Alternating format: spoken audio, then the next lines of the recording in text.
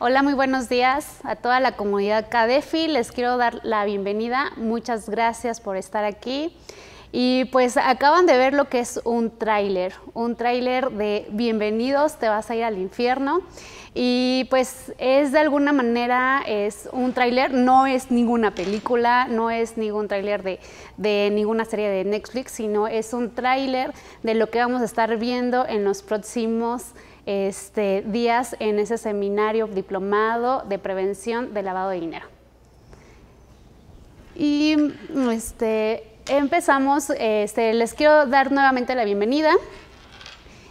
Eh, yo soy Teresa Costa, eh, soy auditora forense, especializada en la prevención e investigación de delitos económicos. Tengo una certificación internacional como experta antifraude y soy CEO de un despacho contable que se llama Fiscavital, Servicios Especializados Fiscales y Actividades Vulnerables, y la consultoría Zero International Consulting.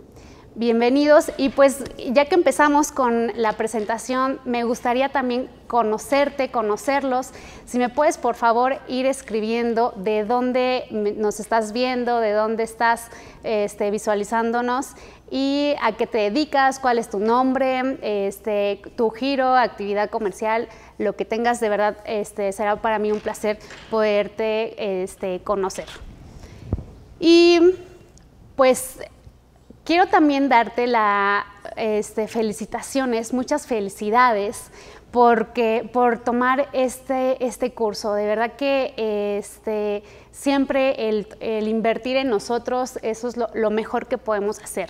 Como bien lo decía William, el, el aprendizaje es un simple apéndice de nosotros mismos. O sea, donde quiera que estemos está también el aprendizaje.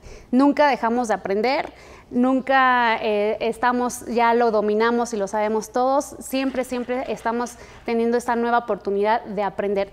Y en el término de, fraudes y en el término de, cuestiones eh, de delitos y estafas que hoy en día se vive muchísimo, este, es algo que tenemos que sentirnos orgullosos que lo que es el maravilloso lo maravilloso de aprender algo, de cualquier conocimiento, es que eso no nos lo pueden arrebatar nunca. O sea, hasta el día de hoy no este, es algo que te podemos decir que le vamos a poder llevar de ventaja a todos los estafadores, es que eso siempre va a ser de nosotros. O sea, el conocimiento siempre va a ser este, nuestro y no hay poder humano que no se nos sea arrebatado. Bienvenidos y nuevamente muchas felicidades. Este, vamos a empezar con una técnica grupal que me gustaría que empezáramos a hacer como ciertos compromisos. Y esto es este, la presentación, no sé, se les olvide porque de verdad me gustaría mucho conocerlos. Y pues vamos a estar, vamos a comprometernos que en, este, en, este, en estas tres sesiones en las que vamos a estar juntos este, eh, en estos días, viendo lo de prevención del lavado de dinero, este, vamos a tener una actitud positiva. ¿Ok? Entonces, eh, se los pido, yo también me comprometo a tener una actitud positiva, siempre una alta energía, por favor. A veces empezamos, empezamos a las 9 en punto, entonces hay veces que este, pues ya, ya, ya nos agarró el tránsito, ya, este, ya llegamos un poquito tarde, cualquier situación que, que muchas veces se nos, este, se nos llega a atravesar, que no baje nuestra energía, siempre tenerla este, alta. Este, otra también, vamos a hacer el compromiso, por favor, de que vamos a estar participando. Mucha participación, este, aquí este, eh, la medida en la que participamos, esto se va enriqueciendo más. Este, tanto yo aprendo de ustedes al momento en que, en que participan este, mucho. Entonces, por favor, no se les olvide estar participando y estar dispuestos a aprender. Estamos eh, con esta apertura de, mm, este, de, aprender, de, este, de que pues no lo, hasta el día de hoy pues no, no podemos decir que lo dominamos todo, al menos yo digo que no, no lo sé todo, siempre hay algo nuevo que se aprende y este y todo. Y la última, el último compromiso, pues yo sé que ahorita no, no aplicaría, pero en el momento en que nos veamos de manera presencial, eh, para el caso práctico, este, vamos a comprometernos a no generar ruidos. Yo también me comprometo a, no, tener mi teléfono apagado y no tener de alguna manera ningún generador de ruidos. Este, entonces, por ahí estamos bien. Muchísimas gracias. Y bueno, ¿qué es lo que vamos a estar viendo en las próximas, em, en las próximas dos, tres sesiones, que es este, el temario de prevención de lavado de dinero? Hashtag te vas a ir al infierno, no se les olvide. Este, es eh, vamos a estar viendo, el día de hoy nos vamos a enfocar a lo que es blanqueo de capitales. Vamos a estar viendo conceptos básicos, las etapas del lavado de dinero, cómo es que opera, este, algunos ejemplos y, este, y pues en general nos vamos a enfocar a lo que es blanqueo de capitales, financiamiento del terrorismo, las, las diferencias también que hay entre blanqueo de capitales y financiamiento del terrorismo. En la siguiente sesión vamos ya a entrar en materia en todo el marco jurídico y vamos a entrar en todo lo que es este, el régimen eh, internacional y el régimen nacional. Ahí es donde vamos, eh, les voy a estar platicando de lo que es la convención de... Mm, hay muchas convenciones, pero yo voy a tocar lo que es la convención de Viena, la convención de Palermo, la GAFI, el Grupo de Acción Financiera y, eh, sus 40 recomendaciones eh, y así como algunas otras recomendaciones internacionales. Y en el régimen nacional es lo que ya a nivel país, pues eh, estos delitos, que es el delito de lavado de dinero, en, en dónde se tipifica. Vamos a estar viendo lo que es la ley de prevención de lavado de dinero, este, el código penal y algunas leyes financieras. Este, después, eh, lo que vamos, vamos, a estar viendo ya para ir terminando y ir empezando hacia la última sesión es lo de actividades vulnerables si, somos o no somos una actividad vulnerable, qué es lo que nos dice la ley para poder este, hacer tener una actividad vulnerable y cuáles son nuestras obligaciones, como es la presentación de avisos, en qué momento los tengo que presentar, en qué momento no los puedo presentar, este, la identificación de clientes, este, lo que es eh, la este, personas políticamente expuestas, entre otras cosas. Entonces, y concluimos en la última sesión que es el caso práctico. Vamos a estar viendo un caso de estudio en donde prácticamente se lo van a llevar de tarea desde el día martes para que lo analicemos el día, este, el día lunes 22 de agosto, que sería nuestra última sesión, y en donde vamos a aprender ya de manera práctica las tipologías, los umbrales y de alguna manera también la presentación de avisos. Entonces yo les recomiendo por favor que si este, que ya el día que nos veamos de manera presencial, si ustedes pueden apoyarnos o apoyarme a traer, un equipo, este, y si también ya tienen de alguna manera, sabes que yo ya traigo un cliente o yo mismo me voy a iniciar como, este, como en el portal de lavado de dinero o yo también ya sé que tengo una actividad vulnerable, ahí mismo en el caso práctico yo te puedo ayudar y, te voy a ir guiando cómo ir haciéndolo. En caso también de que ya estés dado de alta, que me digas, Tere, yo ya estoy dado de alta, pero no tengo ni idea de cómo presentar los avisos, este, cómo los tengo que presentar, es la primera vez, y entonces en ese momento también aprovechemos y los mandemos. Entonces, aparte de que vas a aprender y que va a ser un, día totalmente práctico, este, pues de alguna manera si tenemos ahí algún pendientito que hacer, pues de una vez aprovechemos. Entonces, si tienes algún cliente que se dedica a la actividad vulnerable y que tenemos que regularizarlo en la cuestión de avisos, pues de una vez pues tráitelo para que ese día de una vez lo, pongamos al corriente, juntos, de manera este, en conjunta.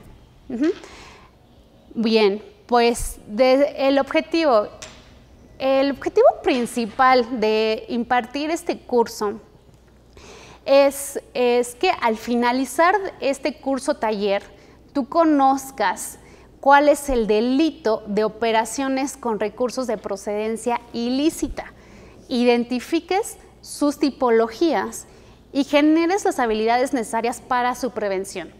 No vamos a poder prevenir nunca jamás en la vida algo que no conocemos, jamás. Entonces, eh, vamos a, conocer ese tipo de delito cómo se opera, cuál es su modus operandi, para que el día de mañana nosotros podamos tener las herramientas necesarias para podernos prevenir de este delito que sin duda pues impacta muchísimo lo que es la paz mundial y ha dañado a la vida de tantas, tantas familias. Y pues bueno, ya entrando en materia, yo te quiero platicar de los conceptos básicos de lo que es el lavado de dinero. El lavado de dinero, su objetivo, su definición, es que busca ocultar o disimular el origen de los bienes o del dinero que fueron obtenidos ilegalmente. Esto principalmente pues de actividades ilícitas. Y esto es para incorporarlos a la economía y darles una apariencia de legalidad. Desafortunadamente, este delito está en la mayoría de los países y en México pues es, algo que está hoy por hoy en día y, y que no es algo que esté fuera de, de México, vaya, o sea, muchas veces pensamos que este delito se encuentra en otros países y no es así. En un sentido más amplio, eh, este delito se le define como el conjunto de técnicas o de procedimientos o de operaciones que van a ser manipuladas, que y en este caso son utilizadas por, por los delincuentes para lavar los activos. Ahora bien, el blanqueo de capitales también es conocido como lavado de dinero, lavado de activos o legitimación de capitales siempre que escuches eh, la, palabra blanqueo de capitales, legitimación de capitales y lavado de dinero o lavado de activos, es exactamente la misma palabra. Anteriormente en alguna ocasión me tocó ver a una chica que me decía, es que Tere, es que em, me hago pelotas, yo no sé qué es blanqueo de capitales o cuál es la diferencia entre lavado de dinero y legitimación de, eh, capitales. Y entonces, este, como que ella me decía, es que se me confundo. Y entonces eh, yo le dije, pues es que es exactamente lo mismo. O sea, simplemente es la manera cambia porque en otros países se conoce más como blanqueo de capitales. Aquí en México se conoce mucho como lavado de dinero y en otros países este, tienen otro nombre, pero al final es exactamente lo mismo, son sinónimos. Vaya. Este, y pues vamos a partir a hablarles, les quiero mencionar de los antecedentes. Este delito no es nuevo, este delito no es eh, de ahorita, no es algo que apenas haya empezado, realmente este delito ya tiene pues sus años y, sus inicios identificados que podemos, este, podemos ver en la historia que comienza esto en las décadas de, en la década de 1920, en donde las mafias en Estados Unidos eh, estaban, instalaban de alguna manera lavanderías. Yo creo que en algún momento hemos escuchado la historia de Ay Capón, que él eh, tenía negocios completamente ilícitos, que eran las lavanderías, y que a través de estas lavanderías obtenían los ingresos, lavaba sus ingresos ilícitos de actividades que no eran nada este, lícitas y de un negocio que era completamente eh, eh, lícito, de ahí, ahí metía y, lavaba el dinero. Es por eso el término lavado de dinero, de ahí vienen eh, los antecedentes. Y entonces, pues este, eso pues parte desde ahí, desde Estados Unidos, por eso el concepto. Y algo bien chistoso que incluso que ya en algo, en más adelante lo estaremos comentando, pero si revisamos los antecedentes de cómo es que viene este delito, cómo es que se origina, y que partimos de que se origina de, pues de, que, de las lavanderías que daban ayuda a todas las mafias para lavar el dinero sucio. Entonces, mi pregunta o, o algo que yo me cuestiono muchísimo es cómo es que este delito o este negocio no se encuentra hoy por hoy como una actividad vulnerable y no está siendo supervisado por, este, pues, por las autoridades correspondientes, ¿no? Entonces, si nos podemos a, visualizar o analizar esa parte, es que en realidad, pues, es un negocio que ha existido toda la vida, que sigue existiendo al día de hoy y que el día de hoy sigue siendo un, un giro de negocio muy vulnerable para lavar el dinero ilícito y convertirlo en dinero completamente, eh, darle esa apariencia de legalidad. Y entonces es como, ah, bueno, a mí me deja como pensar, no sé, eh, tú escríbeme por ahí, por favor, tú qué piensas. Este, no, no se te hace ahí como algo medio raro, al igual que otros negocios, ¿no? Como los restaurantes, en fin, los bares, etcétera, etcétera. Y pues, bueno, y eh, como les comentaba, yo no, esto, este delito no es nuevo, entonces es, eh, esto es parte eh, en Estados Unidos. Ahora si nos vamos a lo que es China, este, esto parte también desde hace más de 3.000 años, en donde también los mercaderos chinos también este, o sea, sacaban el dinero del destierro para sacarlos, tenerlo fuera de la jurisdicción. Entonces también desde, esas, desde esos ayeres, desde ahí también ya viene todo el tema de lo que es el lavado de dinero. Y aquí en México, pues se nos viene pues a eh, este personaje que ha sido como muy histórico, lo que es eh, este Escobar, que prácticamente pues nació aquí en los 70s y 80s en México, da origen de, de los dineros obtenidos del narcotráfico, el contrabando, la prostitución, y esto es pues cometido por los cárteles más temidos, ¿no? que como han sido el cártel de Cali, el cártel de Medellín, y que han sido pues los responsables del envío de drogas. Así es como se, se origina, o sea, el lavado de dinero en México tiene sus orígenes a través de ese tipo de delitos, que es el narcotráfico, contrabando y prostitución. Sin embargo, al día de hoy seguimos pensando que el lavado de dinero se asocia únicamente con el tema de narcotráfico, contrabando y prostitución. Y no es así. Ahorita ya hay más delitos que son considerados como delitos de procedencia ilícita y que dan origen al lavado de dinero. Entonces, no únicamente es eh, que tengan que ver, así se originó, sí se originó, y el origen viene a través del narcotráfico, vaya.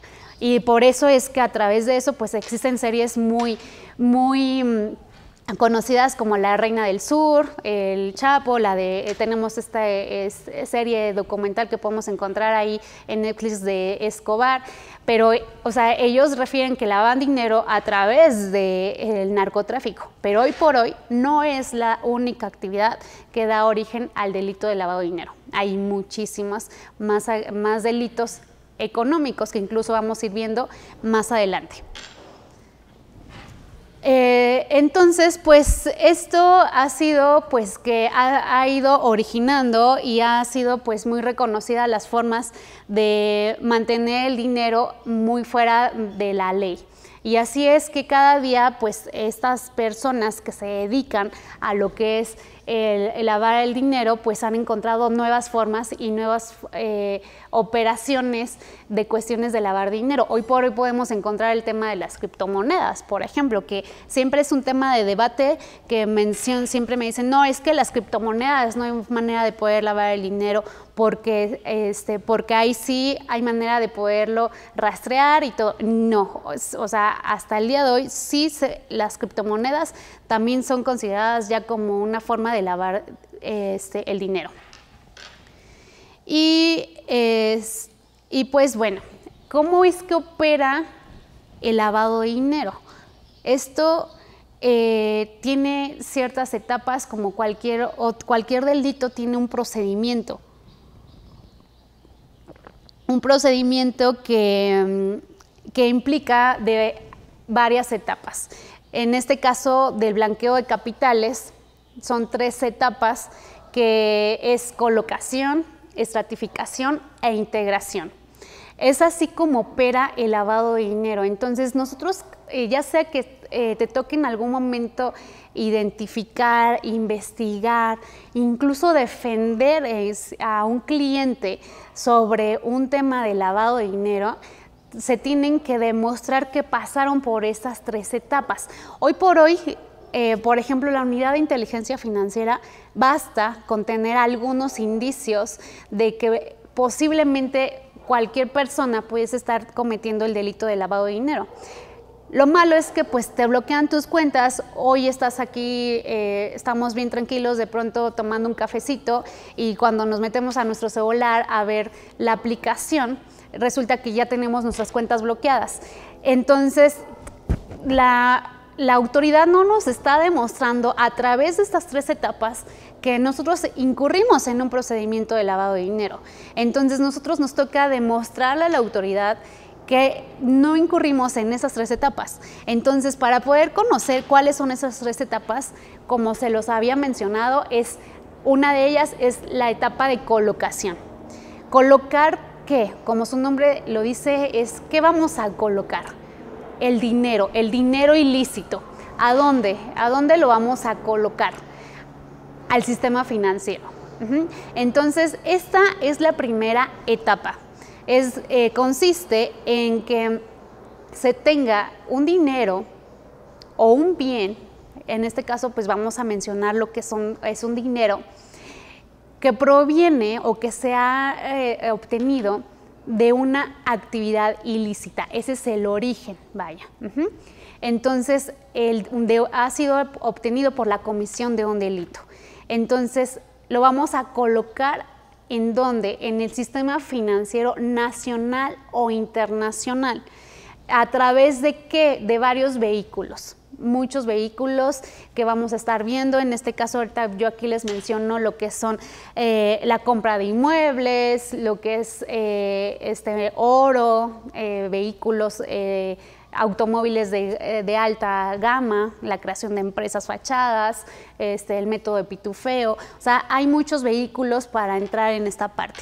Entonces, de, en la primera etapa, que es en esa parte en donde nosotros vamos a estar buscando el colocar, y hablo buscando, hablo en un, en un este, hablo de alguna manera eh, como propio, porque siempre les digo, para que podamos ver de alguna manera el, la etapa, conocerlos, todo este delito, hay que ponernos en el lugar de la persona que lo está cometiendo.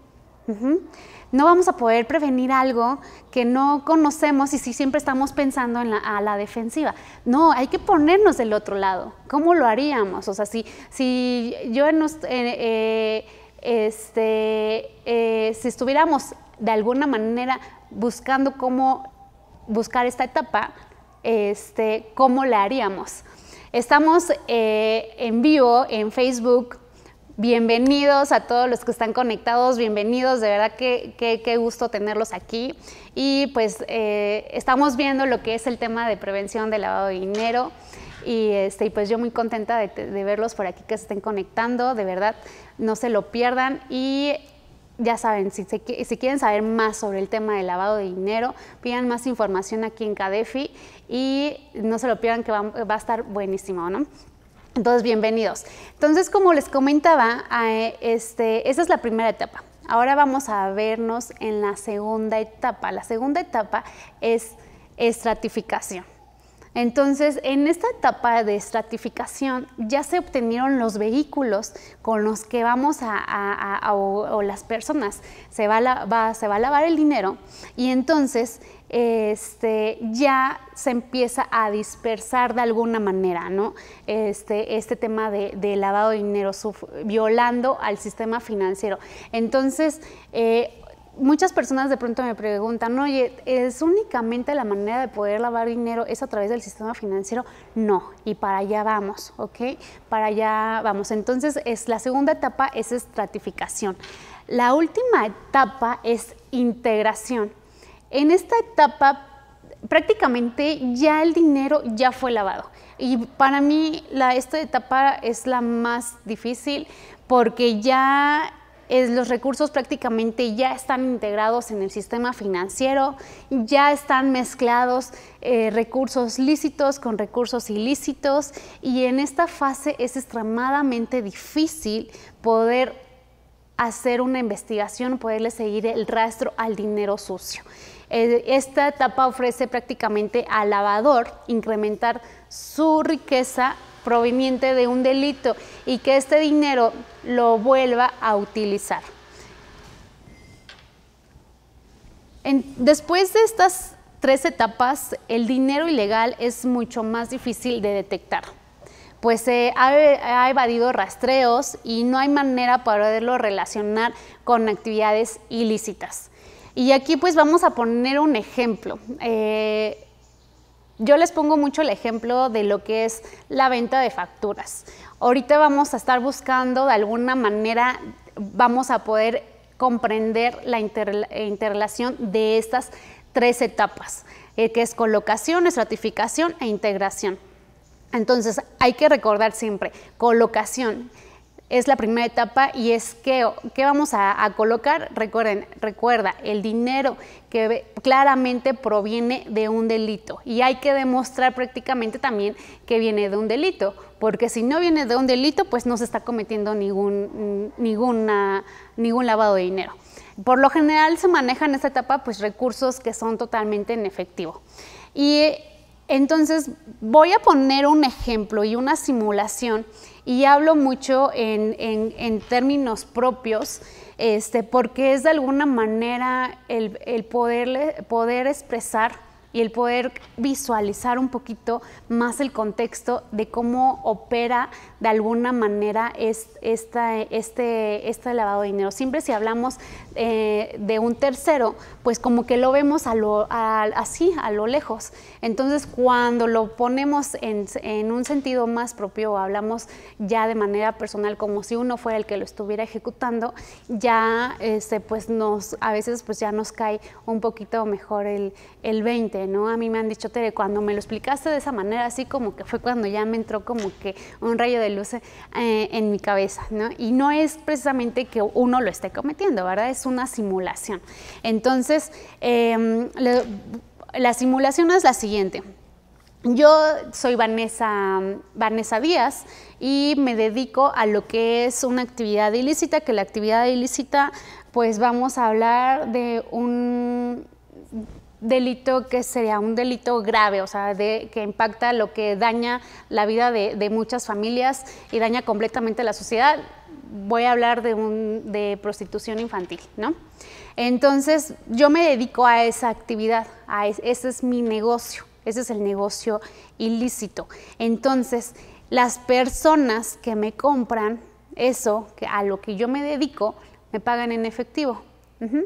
Entonces, por cierto tiempo, pues llegó un momento en que ya el dinero es, este, pues ya es demasiado, es mucho dinero en efectivo lo que, lo que está y pues obviamente ya no puedo ir a comprar una casa de, de 5 millones en teoría, ¿verdad? Porque todavía sí hay lugares en donde te aceptan mucho, este, mucho efectivo o donde puedes ir a comprar un carro a una agencia y lo quieres pagar en efectivo, pues ya te das mucho más a notar. Y aparte es pone una, una moneda en el aire, pues porque puede ser que la persona donde tú vas a comprar puede ser que sea una persona que tiene una cultura de antifraude, una cultura de prevención del lavado de dinero y obviamente va a ser su identificación del cliente y obviamente pues no, no me quiero ver expuesta, ¿verdad? O, no las personas que se dedican a eso pues no se quieren ver expuestos. Entonces, eh, ¿Qué voy, a hacer? Estoy en esa primera etapa, colocación. Es donde yo ya tengo el recurso efectivo, eh, en efectivo y proviene de dónde? ¿De dónde eh, viene? De una actividad ilícita que ya eh, la mencionamos, que claramente es un delito. Y entonces, ¿qué voy a buscar? Me voy a ir pasando a la segunda etapa, que es estratificación. En este es prácticamente invertirlo. Se me ocurre, por ejemplo, eh, estoy platicando con, con Juan o con Pancho y de pronto Pancho me dice, oye, ¿sabes qué? Es que yo no este, ando un poquito como tronado de dinero y necesito, eh, tengo un negocio de venta de partes de vehículos y necesito que este, pues, mm, hacer crecer mi negocio, ¿no? ¿Por qué? Porque pues la pandemia y todo esto pues me ha costado mucho trabajo. Entonces yo le digo, oye, pues te invierto contigo, ¿qué te parece? ¿No? O yo te consigo un inversionista. solamente que la persona que, te, que va a invertir contigo eh, eh, solamente que tiene el dinero en efectivo.